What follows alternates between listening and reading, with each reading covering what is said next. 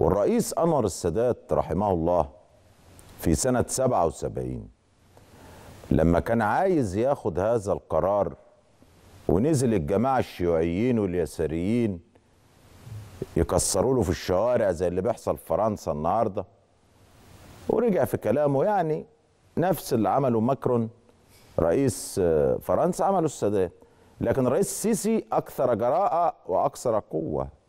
ما خافش. واتخذ قرار.